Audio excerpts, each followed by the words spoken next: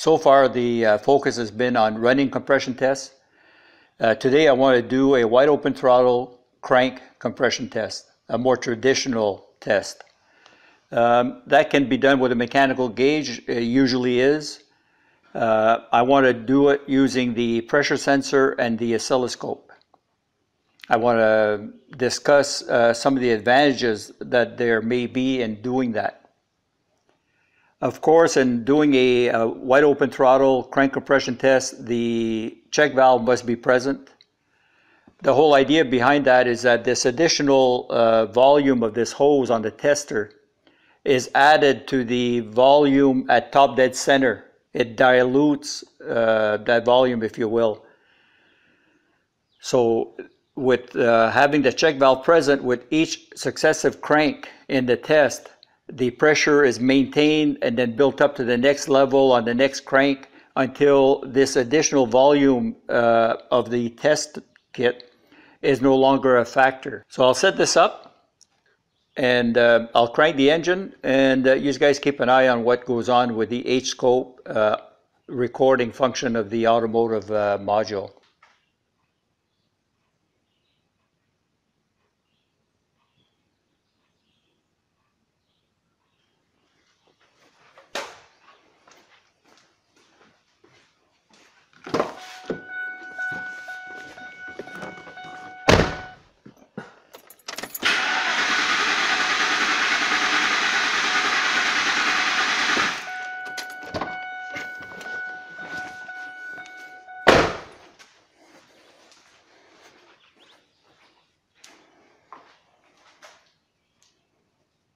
I think that one of the first advantages that you have out of using uh, H-scope and the automotive uh, module uh, built into it with its, uh, you know, two or three minutes of recording time is that you can do this wide open throttle uh, crank compression test alone. You don't need a partner to do this.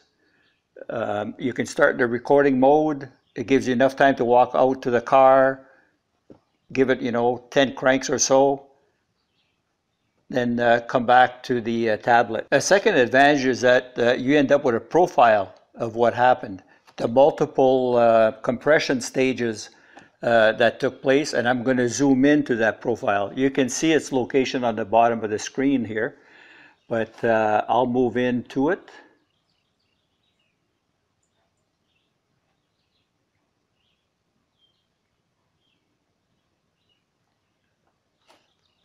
And if I zoom that,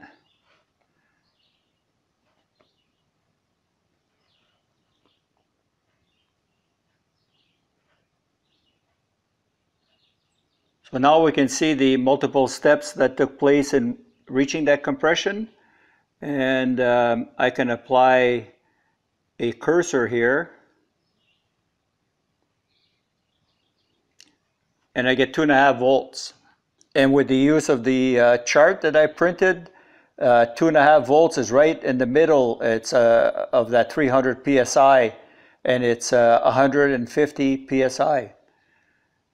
This can be saved for uh, future comparison to other cylinders. That's another advantage over using the mechanical gauge. So I think there's uh, quite a few advantages going the electronic way. not that I'm totally opposed to just using the mechanical gauge, but especially if you're alone and you have to uh, run back and forth, I think um, H-scope with all that uh, recording time is a very nice uh, factor here. Talk to you guys later.